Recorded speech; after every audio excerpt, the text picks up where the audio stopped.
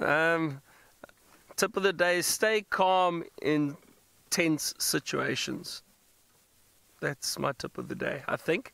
Um, so yeah, the steering rod bent again on Rusty. It's the second time it's happened to me uh, this last month. I don't know what the reason is.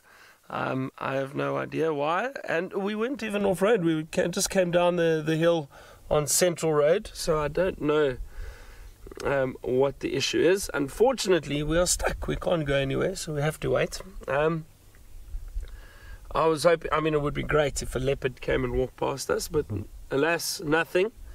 No alarm calls, anything, so we've resulted to coffee.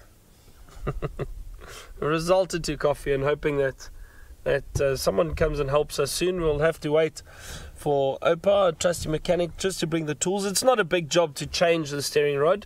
It's just more of the inconvenience than anything else. But it happens out in the bush, apparently. yeah, more than anywhere.